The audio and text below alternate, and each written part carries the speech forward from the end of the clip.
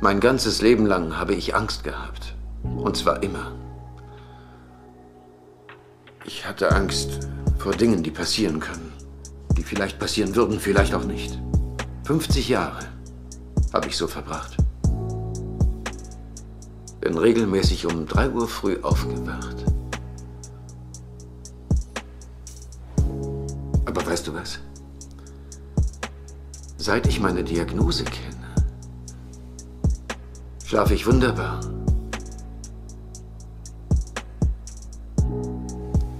Hm. Aha. Inzwischen ist mir klar geworden, dass diese Angst das Schlimmste ist. Die ist der wahre Feind. Also,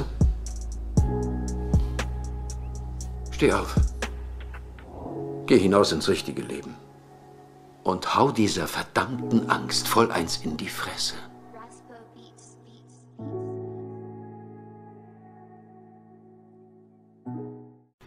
Du bist ein gescheiter junger Mann. Dieses Gewerbe liegt dir im Blut, ist deine Natur. Du steigst nicht aus, du steigst erst ein, es fängt erst an. Ich habe unbegrenztes Vertrauen in dich. Und eines Tages wirst du hier an meiner Stelle sitzen und einem Jungen die Fakten des Lebens erklären. Und welche wären das, Mr. Temple?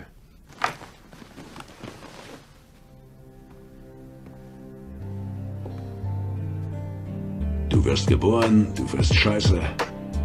Du ziehst hinaus in die Welt, frisst noch mehr Scheiße. Kletterst immer höher.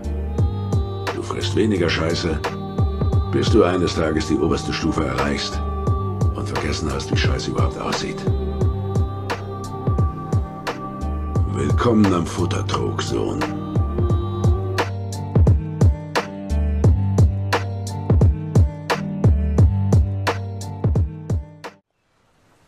Keine Sorge, Partner, die kriegen uns nicht. Hast recht, wir sind zu schlau für die.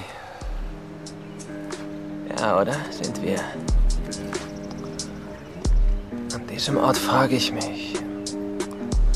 Was denn, Boss? Was wäre schlimmer? Zu leben wie ein Monster oder als guter Mann zu sterben?